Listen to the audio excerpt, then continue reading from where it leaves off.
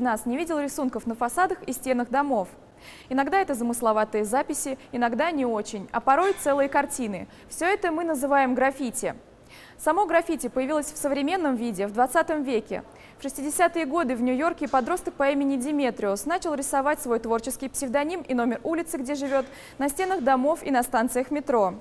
Однако история рисунков на стенах насчитывает гораздо больше лет. Первые найденные рисунки в пещерах насчитывают 30-40 тысяч лет. Для пещерных людей рисунки наделялись магическими свойствами. Но сегодня граффити приобретает совсем другое значение. Для многих граффити сегодня стало синонимом слова «вандализм». Однако многие художники и даже искусствоведы считают, что граффити – это полноценная часть современного искусства. Если раньше подросток, который увлекался рисованием на стенах, считался неблагополучным, то сегодня на поверку это оказываются творческие развитые люди. Что толкает молодых людей брать в руки баллончики с краской и рисовать на стенах? Можно ли считать их творения произведениями искусства? Тема нашей сегодняшней передачи – граффити – искусство или вандализм. Так кто же такие райтеры и как относиться к их произведениям? Разобраться в этом нам помогут наши эксперты. Заведующий кафедрой психологии Тверского филиала МГИ Татьяна Алексеевна Попкова и член Союза художников Константин Ефимович Федоров. Известно, что сам Пабло Пикассо отмечал ценность граффити и говорил о нем как о предельном лаконизме. А еще один художник, Терренс Линдл, американец, считает граффити отдушиной для молодых людей и говорит, что рисовать на стенах это в принципе естественно. Первый вопрос у меня к вам, Татьяна Алексеевна. А, среди всех способов самовыражения, которых сейчас просто не счесть, а, все равно по-прежнему молодые люди часто выбирают именно рисование на стенах. На ваш взгляд, э, почему так случается? Что вообще это значит для молодой души? Всплеск эмоций, какой-то протест, заявление о себе? Рассматривая граффити как способ самовыражения, а, прежде всего необходимо ответить на вопрос, а, что толкает человека на именно такой способ. Потому что действительно вы, вы правы в том, что способов заявить о себе, да, презентовать себя миру очень много. И мы сейчас живем в таком продвинутом цивилизованном пространстве, где действительно а, да только ленивый не может найти способ представить свое «я» миру. А, по поводу именно граффити, да, а, презентации себя через рисунок, через а, такой своеобразный ну, широкий жест да, души, руки. Здесь, наверное, ответов может быть очень много. И граффити, на самом деле, да, тоже может быть осматриваться разные по форме. Есть действительно, как вы правильно сказали, это искусство, это широкие картины и очень талантливые произведения. Но есть граффити, которые э, носят э, вандальный характер и противоправный характер. Да, но в целом э, граффити — это такое искусство очень на широкую аудиторию рассчитанное. Есть ли какие-то причины, которые толкают людей вот так вот демонстративно показывать свои возможности? Причина возрастная, психологическая. То есть если мы берем именно подростковый возраст и юношеский Может быть, есть какой-то типичный портрет такого молодого человека? Наверное, нет, потому что исследований в области исследований по по проблем выявления мотивов э, графистов очень мало. То есть наука, наверное, не готова э, экспериментально ответить на вопрос, почему именно так происходит. На уровне теории можно предположить о том, что действительно молодым людям хочется в этом возрасте, да, это подростковый, юношеский, э, заявить о себе, заявить всему миру, сказать, э, это я, это мое пространство, это мой мир.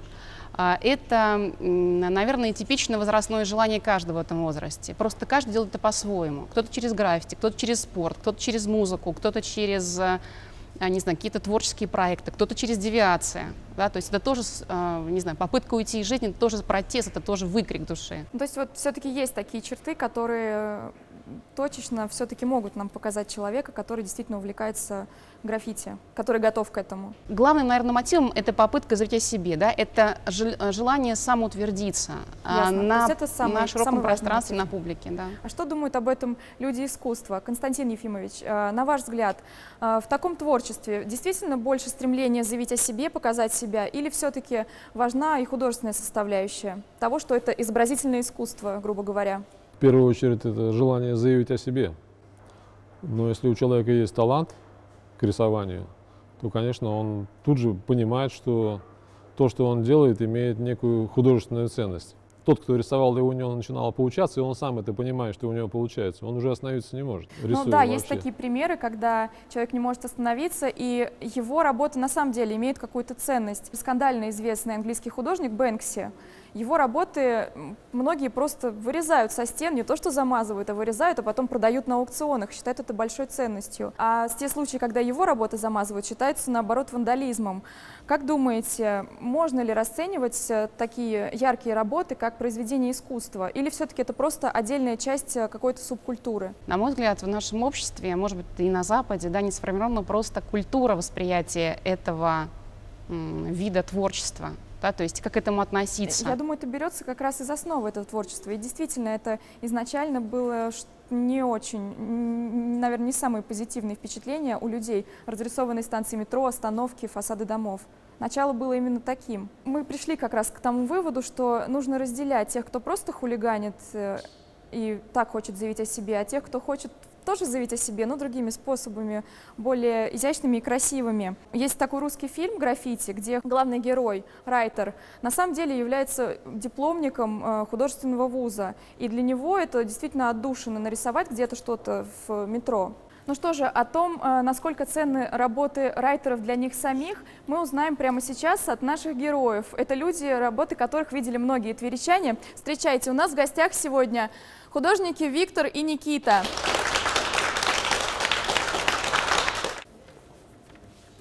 Считается, что первые рисунки граффити появились в России в 80-е годы. Расцветом исследователи называют 90-е, но не теряет это искусство своей актуальности и сегодня.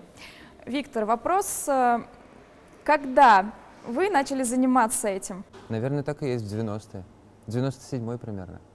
А каким ну, это первые первые попытки, это ужасное что-то такое. А что они себе представляли? Что это было? Ну, какие-то полу скопированные чужие буквы, какие-то персонажи, может быть, тоже так же глупо нарисованы. То есть, наверное, это был просто интерес, да, к чему-то новому? Ну, может, конечно, это все было как хип-хоп, граффити, музыка, танцы, ну, все вместе пришло. А со временем как-то изменилось что-то? Это теперь переросло во что-то большее, все-таки как... Основное, чем я в жизни занимаюсь, рисунки, стены, холсты. Рисунок — это просто сначала рождается замысел или просто спонтанно иногда может что-то ударить в голову, и ты захочешь это нарисовать? Я рисую то, что просто мне под настроение, под какие-то периоды жизни ну, подходит. Это либо глупый плюшевый мишка какой-то в депрессии, или наоборот, он очень радостный. Все зависит от того, что происходит на самом деле в жизни. Ну, это как просто выражение себя. Хочется же оставить какой-то след, и чтобы кого-то улыбнуло, например. Кто-то прошел, увидел рисуночек. О, те же девочки сфотографировались, уже приятно. То есть оставляешь для кого-то что-то такое ценное, приятное. Может быть, Никита нам подробнее расскажет о стилях э, граффити, которые существуют? Э, стилей очень много разных. В большинстве случаев то, что мы видим, это вандализм, так как нет у нас легальных стен. То есть все, что мы видим на улице, это все вандализм полнейший. А, поэтому стиль не развивается никак, все стоит на одном месте практически. Либо развивается, но развивается вдалеке от наших глаз, где-то на стройках, где-то на заброшенных зданиях. То есть именно эти места стали таким ареалом обитания для ну, райтеров? Не то, что ареал обитания, это место, где ты можешь при, прийти, потратив там 3000 на, на траску, потратив свои там 4 часа времени, сделать что-то то, что тебе понравится, сфоткать где-то и сидеть, смотреть и улыбаться. Там, то, что ты добился чего-то, ну, ты сделал что-то новое, тебе это нравится. А делать на улице, ты потратишь кучу денег, времени, но тебя заставят перетрашивать, тебя поймает милиция, статья и все остальное. То есть, ну... То есть со всеми этими проблемами все, не, разви- все не развивается, потому что негде этому развивать, абсолютно. Но все же в Твери все равно, я думаю, много, постоянно появляются какие-то новые рисунки. Насколько вообще э, движение граффити развито в нашем городе? Ну, в последнее время все очень плохо развивается. Сейчас стало намного меньше художников, стало больше вандализма. А, потому что нет примеров, от, с чего им как бы вдохновляться и на кого равняться. Нет таких примеров. У нас ну, есть метод кнута пряника, у нас только вот кнута. То есть как уничтожить граффити, это ввести более строгие законы. У нас не делают легальных стен, у нас э, мы пытаемся проводить какие-то мероприятия, фестивали, но все проходит, все это очень тяжко, сложно. Рисуем в детских домах, там, но это тоже как бы все очень редко и очень мало. То есть люди не развиваются, потому что умеют развиваться. Здесь чья роль, кстати, э, самая главная? Самих художников или тех, кто должен им помочь как-то развить, э, развить свое творчество? Это все делается вместе должно, это ну, как бы не одностороннее, Может быть, а совместно нет просто всё. инициативы? Да нет, на самом деле, кстати, если есть ну, желание, например, можно найти место, где рисовать. То есть, ну, как бывает, если не хочется, например, ночью, правильно, там, или опять же, проблем каких-то с правоохранительными органами. Идешь, ищешь место подходящее и спрашиваешься, ну, пытаешься достучаться до какого-то человека, который имеет отношение к этой стене или к этому дому и так далее, и спрашиваешь непосредственно, вы не против, если вот мы... Ну и как в основном все реагируют? Ну, как, 50 на 50. Как кто-то совсем не хочет разговаривать. Иногда говорят, ой, да-да-да, то есть плохая стена была, мы нарисуем Ну вот э, я знаю, что- они радуются, вынесут Я знаю, чаю что в Америке в грубо говоря. 80-е широкую борьбу вели с райтерами, и вплоть до того, что их там вычисляли по почерку. Ну, это и сейчас Вот, есть да, такое. и сейчас прям даже у нас есть Но такое. у нас э, какие-то обыски, там что-то и свидания. Э, Хорошо, но вот мы сейчас поговорили о том, что есть э, какие-то запреты, есть трудности, что негде рисовать, а когда рисуешь где придется, получаешь проблемы. А есть ли какой-то внутренний кодекс у самих райтеров, чтобы их творения не назвали вандализмом? ну, Где можно кодекс рисовать, а где нельзя? Ни в коем случае на памятниках нельзя, это как бы известно да. всем художникам, и никто старается этого не делать. Единственное, там бывает то, что совсем маленькие юные там ребятки, взявши фломастер, сделали на памятники. Но это возбраняется всячески. Ну, это просто Исторические здания никто не трогает никогда. отношение, да. Кто будет рисовать на памятнике, как бы. Это же уже как произведение искусства, грубо Ну вот, а все-таки, да, о домах сейчас заговорили, о тех, кто действительно рисует э, на домах, что можно сказать вообще?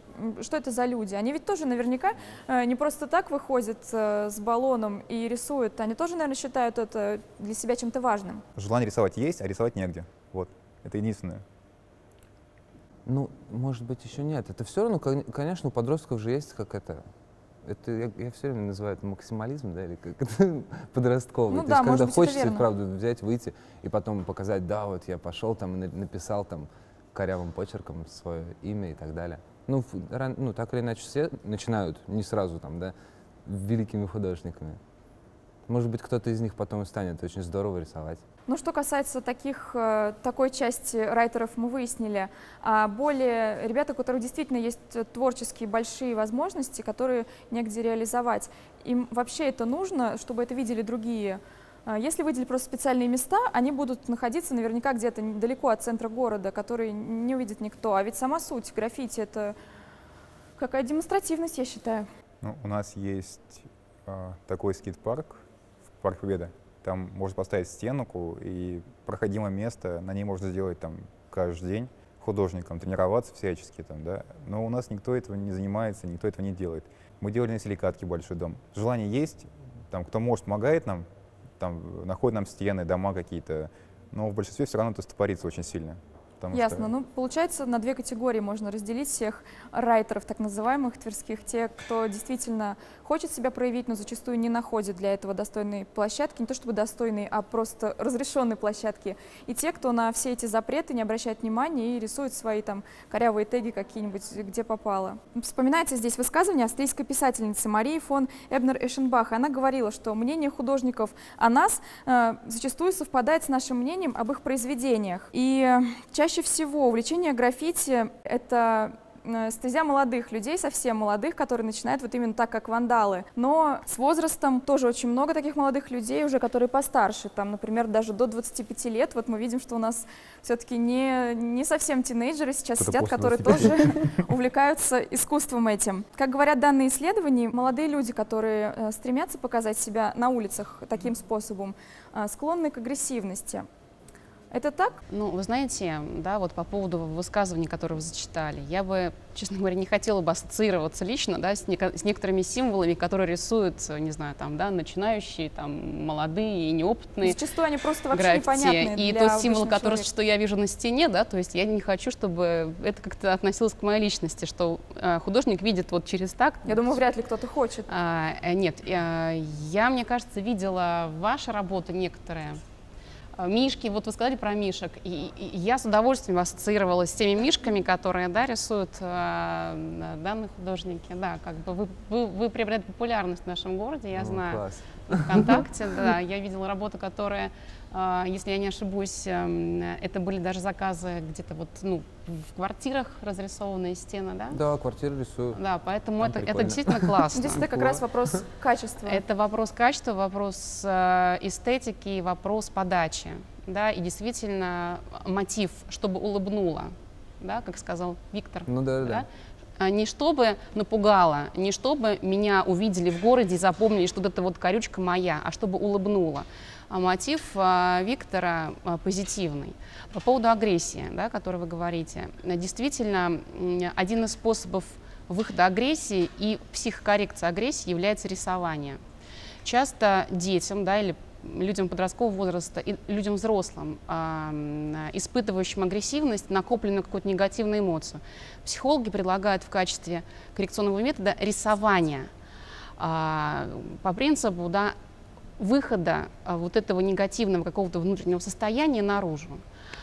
Поэтому в этом случае, если мы говорим о том, что вандализм и те как это, отпечатки, да, агрессивные, которые мы видим, наверное, этих людей необходимо а, не, не то что корректировать, а показывать другой способ выхода агрессии. Может быть, это будет не рисунок, да, или рисунок, но не ам, оскорбляющий еще общественность, да, какие-то общественные места, памятник архитектуры, о которых сегодня а, говорилось. Поэтому, а, возможно, это как у кого-то выход агрессивный, а, и тогда с этим человеком да, необходимо искать ресурс его выхода другим путем этой агрессии. А их очень много, этих путей. Хорошо, если говорить о других э, немного работах, которые не только для того, чтобы улыбнуло. Вот взять того же самого Бэнкси, о котором мы говорили в начале передачи, многие его работы посвящены э, острым социальным и политическим темам, и это уже не просто какое-то развлечение, а, наверное, способ сказать, действительно сказать э, всем, кто увидит работы, о том, что думает художник. Э, Вот это как средство социальной коммуникации можно рассматривать, и насколько это может быть важно? Как средство социальной коммуникации возможно, как средство общения автора с публикой возможно, но нужно понимать, что все-таки истинная коммуникация, истинная да, человек- коммуникация – это диалог. Это э, если вы хотите заявить, э, да, не знаю, решить проблему, как решают наши райдеры, да, то есть они пытаются договориться, пытаются договориться о стене, которую можно раскрасить, пытаются договориться с общественными организациями, которыми м, да, предоставить им стену. То есть это прямой диалог. А, рисунок и заявка, да, там социальной проблематики, какой-то, не знаю, там, да, национальной проблематики и так далее, все-таки это молчаливый протест, да, или мол- молчаливая указка на то, что вот посмотрите, и, я вам напоминаю, а где диалог? А, кроме как раздражения власти, получается, да, этот художник ничего не- людям, ну, как бы, да, не провоцирует. То есть для меня диалог, как для психолога, это, а, да, это тет-а-тет, это, это взгляд, это эмоции, которые я вижу у вас, да, и которые вы видите у меня. А, Это попытка тут же выяснить, прояснить точки зрения, а не заявить эту проблему, а дальше вы все думаете, как это будет. Я допускаю это как форма призыва, как форма да, локализации, какой-то концентрации точки зрения. Посмотрите, это у нас плохо или это беда. кнопка. Красная кнопка. А дальше? То есть или это непроработанный пути, непроработанный метод работы с, да, с этим призывом. Поэтому здесь нужно, конечно, да, работать всем. Не только ему одному, как протестно, Ну, но в и любом случае, получается, что не отнять вот этой стороны, которая кому-то что-то показывает и заявляет в граффити. Э, Пусть не всегда эти сообщения доходят в той форме, которую Это как, бы это как форма привлечения внимания. Кто-то выйдет с плакатом, да, и напишет о том, что, не знаю, там, да, давайте избавимся от нищеты, а кто-то нищ- нищету нарисует. Поэтому это как форма, Спасибо. получается, привлечения Ну, зарождалось э, само граффити как часть э, движения хип-хоп. Но сегодня это уже действительно самостоятельное искусство, по мнению многих. Как вы думаете, можно ли вообще действительно в полном смысле слова назвать это отдельным течением современного искусства? И есть ли, возможно, какие-то у него перспективы развития? Как и у любого течения, бывают спады, падения. Что ждет граффити? Я думаю, что как художественное явление, конечно, назвать это можно. И как отдельное явление тоже можно назвать. Но насчет развития, как любое э, развивающееся дело, в том числе и искусство, для того, чтобы оно развивалось, нужны ученики, учителя, последователи, какие-то школы. Тогда будет э, какое-то развитие. Если этого нет, то это как бы прыжок на одну высоту. Это все есть, но не в три. Это есть в Москве, в Питере и других крупных городах, но у нас такого пока на данный момент нет. Да, ну, для того, чтобы это было как, Ну, как ну, в России явление, смотреть, то Россия развивается очень сильно в многие европейцы смотрят на Россию как на, на некоторых художников. У нас много достойных художников, которые выступают там на фестивалях там, в Европе всячески, побеждают там, но как мы пока вот Тверь, мы так маленький городок, мы отстаем от этого всего. А в остальном все это развивается полностью. Ну, если это будет развиваться, то, конечно, это как искусство будет существовать. Не может этого не быть. Если это не вандализм, если это Если дви- это движение в настоящий- сторону такого художественного языка, то, конечно, развитие будет рано или поздно.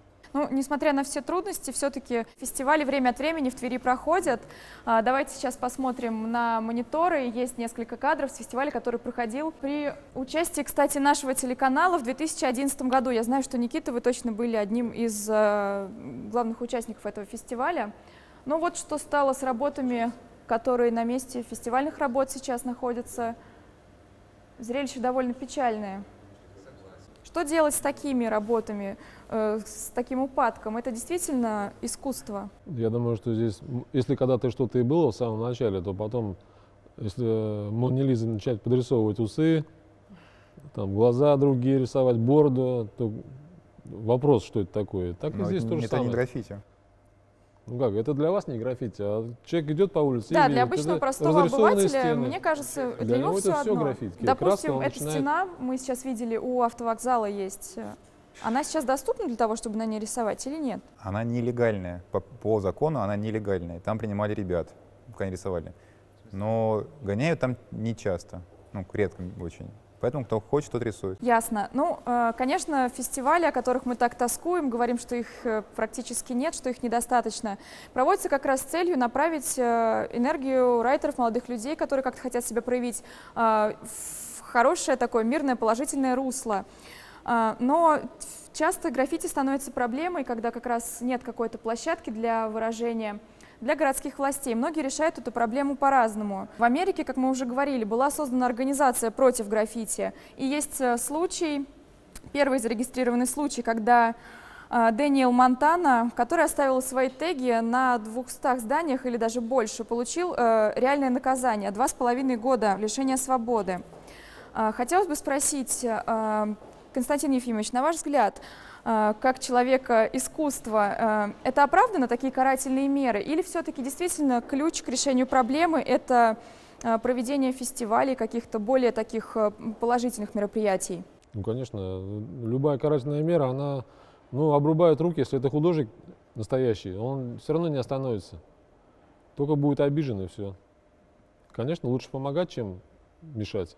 А Давайте спросим у наших зрителей сегодня, что они думают по этому поводу, считать ли граффити искусством и как быть людям, которым негде рисовать. Здравствуйте, меня зовут Никита, и хотелось бы в поддержку молодых людей, которые сейчас высказывались о медленном продвижении современного этого искусства, сказать о том, что в Перми в 2000, если не ошибаюсь, в 2010 году было открыто специальное место. Было открыто специальное место, это была площадка с поставленными новыми стенами, где проводились регулярные конкурсы, регулярные обновления рисунков. Если здание не ремонтировали, не был произведен капитальный ремонт больше скольки-то лет, пяти, я, я могу ошибиться, я не помню, больше скольки-то лет не был произведен капитальный ремонт, там люди имели право рисовать. Но только по заранее одобренным эскизам у администрации города. Эскиз был одобрен, пожалуйста, рисуйте, на здоровье вы- выделена была определенная площадь.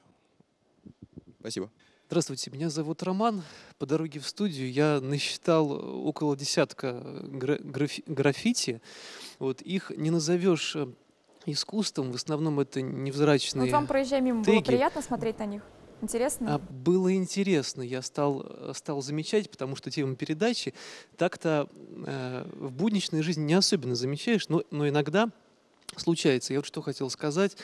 Мне кажется, что бороться с граффити э, бессмысленно, поскольку это общественная сигнализация, это индикатор проблем, и э, скорее нужно заниматься социальными вопросами, поднимать образование, потому что интеллигент э, не станет писать что-то неприличное на заборе. Это ведь тоже граффити или царапать.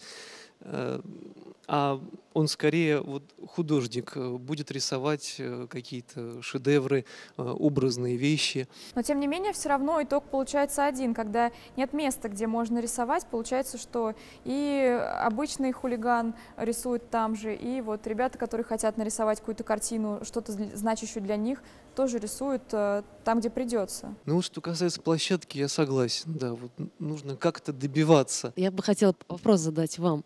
А скажите, вот, ну, я так понимаю, что вы э, художник и вы рисуете, да? И вы, ну, как бы принадлежите э, к тем людям, что как называют творческих людей. То есть э, вдохновение, значит, иногда приходит, иногда уходит. Скажите, ну, когда вдохновение приходит, вы рисуете, а когда вот э, э, оно приходит, и вы не можете рисовать, потому что, ну, так как есть запреты, как вы выходите из положения? Не, я же всегда теперь могу рисовать. Я даже теперь не работаю, только рисую. Дома всегда же есть холст, у друзей всегда есть дома стены. На одежде можно рисовать, можно вообще в компьютере рисовать через планшет. Хоть татуировкой занимайся. Ну, как бы рисовать есть всегда возможность. Просто стена — это как самое привлекательное. Константин Ефимович, хотелось бы еще раз обратиться к вам. А, Все-таки, на ваш взгляд, э, это действительно такая большая проблема? Граффити — это искусство или вандализм? И как объяснить тем, кто считает э, что это только плохо, или тем, кто вот считает, что это хорошо, но не может найти каких-то путей выхода. Ну вот сейчас даже мы разговариваем, мы видим, что это явление неоднозначное, у него несколько, несколько таких параллельных, я бы даже сказал, каких-то движений. Есть чистый вандализм, есть э, желание как-то показать, что я есть, есть желание э, как-то застолбить какую-то стену. Одни рисуют на следующий день на, этом, на этой же надписи следующая надпись, надписи перекрывают друг друга, и в этом уже какое-то получается явление само по себе. Красивые, некрасивые, тем не менее, это вот факт наш, нашей жизни. Есть явление такого художественного рисования на стенах, но оно сопряжено, вот как мы сейчас э, слышим, э, с желанием художников оставаться все-таки свободными в своем э, э, стремлении к творчеству. Вот это можно как-то примирить все-таки, уравновесить Я думаю, одно и другое? Вопрос такой серьезный. С одной стороны, нужны какие-то площадки, не одна, не две, не три, э, для того, чтобы было куда, где это рисовать. С другой стороны, необходима какая-то поддержка или хотя бы хоть какое-то ну, обращение в эту сторону администрации какой-то, ну, городских властей, для того, чтобы они хоть как-то видели, что это действительно серьезное явление. Это не надо отмахиваться а какими от этого. путями э, должны убедить сами художники городских властей, что это действительно им нужно? Я думаю, что они вообще это не должны делать. Они, то, что они рисуют, все и так это видят, что хорошо нарисовано, а что плохо нарисовано. Художник это не тот человек, который должен еще и доказывать то, что он нарисовал это хорошо. Если он нарисовал это хорошо, это и так видно. Если он не умеет рисовать, это тоже видно. Я думаю, что а в этом должны ли нести работы что-то что-то важное для многих, вот для жителей города, например, в себе? Или это просто, просто картинка? Мне кажется, это тоже ну, такой не совсем корректный вопрос. Что значит должны нести? Это художник, он не может так, ну, на этот вопрос даже ответить не может. Он просто рисует, потому что он рисует. Ему хочется рисовать, он хочет, чтобы от него отстали. И он начинает это рисовать. Если он это плохо делает или не на том месте он это делает. Конечно, это плохо с точки зрения Но вот опять жизни же, если города, он вот со своей жизни. точки зрения думает, что он рисует хорошо, а всем остальным так не кажется. И это уже вызывает э, недовольство. Ну, конечно, Особенно он, рисует еще не в том месте. Да, если он рисует хорошо, но не в том месте, это уже ну, в этом есть такой вопрос. Если он рисует там, где это можно рисовать, то это, конечно, уже искусство будет. Если он рисует красиво, и там, где ему разрешили, или там, где это можно было нарисовать, где это никому не помешает, почему бы нет? Спасибо.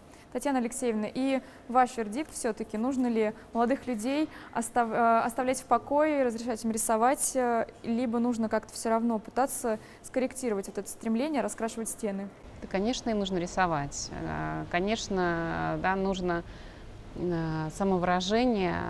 Ну, да, если это все-таки носит характер общественный, да, на мой взгляд, это не должно, не знаю, да, наводить страх потому что это могут видеть дети, да, как-то оскорблять э, какие-то чувства национальные, этнические, религиозные. То есть должна быть какая-то все равно общественная цензура, потому что все равно это общественное место. А, да, это в плане вот, да, какого-то порыва творчества и самовыражения. А, и Э, Здесь мне кажется, что вот для самих ребят э, было бы очень ну, правильным, я не знаю, может быть, опять сейчас будут какие-то навязанные мной какие-то да, предложения, а, вот, да, объединяться в более широким кругом, не просто да, два инициативных молодых человека, которые хотят донести до, до общественности города о том, что это классно. Но это какая-то, может быть, да, цивилизованная форма в плане общественной организации, да, которая также с вашей стороны, на мой взгляд, вы должны и в своей среде бороться с теми, кто подрывает ваш авторитет как художников, с теми, кто а, рисует на памятниках архитектуры в, центре города, да, и не только, с теми, кто, а, насколько вот я знаю, в свое время, знаете, тоже сталкивался с работой с графистами, да, то есть я спрашиваю молодого человека, что тебе заставляет рисовать на нашем а, мосту, а, да, через который мы все ходим. У нас, а, да, и он об- объясняет, я должен был пометить территорию. Для меня тут пометка территории, да, ассоциируется с какой-то очень согласны? вообще мотивом. А, да, это, не было, это не было произведением искусства, это была какая-то закорюка, которая а, для других группировок графистов дает понять, что здесь мы были, здесь мы заняли территорию. Ну, здесь был Вася, да. Здесь это был Вася, да, и идет. это, эта территория наша, наша, ну, какую-то микрогруппировку, внутри которой, поэтому, да, вот я существую. Поэтому, на мой взгляд, общественная организация, да, или, не знаю, какой-то, не знаю, там, центр, как угодно это можно назвать, ваш собственный, да, творческих молодых людей, классных, продуктивных, да, жизнелюбов, должны бороться за то, чтобы в свою среду тоже сделать чище, чтобы и этим людям понять о том, что на вас люди не будут обращать внимание. Мы, да, мы можем нести добро, позитив, свет, да, красоту. Ну вот, э, потому что мы всегда будем, наверное, сталкиваться с противоречием о том, что люди будут воспринимать граффити по закорючкам, потому что их больше в городе, чем э, работ, которые делают ребята. И тогда правы. мы всегда думаю, будем сталкиваться с негативом э, восприятия этого вида искусства. И всегда будем спорить, что это вандализм или, или, или искусство. Спасибо.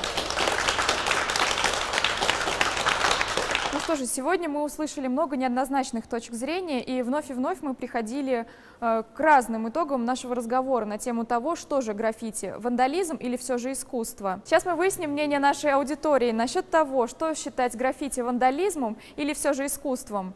А Кто считает, что это действительно направление современного искусства, которое нужно развивать и всячески поддерживать? Спасибо. Единогласно все ребята оказывают вам поддержку. И, наверное, остается действительно пожелать удачи и чтобы граффити стало для всех, кто его видит, э, в том смысле слова, эм, что и вы понимаете его, что это искусство. Сегодня мы снимали печати недосказанности такого явления, как граффити. И после долгих разговоров пришли к выводу, что нет однозначного ответа. Э, Искусство это или вандализм? Наверное, это на стыке э, двух проявлений – демонстративности и стремления к искусству. Но не стоит забывать, что всякое искусство творят люди. Вспомните слова Дени Дидро, который говорил, что каждое произведение искусства должно нести с собой какое-то великое правило жизни и чему-то поучать нас. И здесь остается надеяться только на самих художников, райтеров. И чему научит нас граффити, о чем оно нам расскажет, будет зависеть уже от самих художников, райтеров. Как мы выяснили сегодня, все наши зрители с этим согласны. Вы смотрели ток-шоу «За семью печатями». С вами была Кристина Пугачева.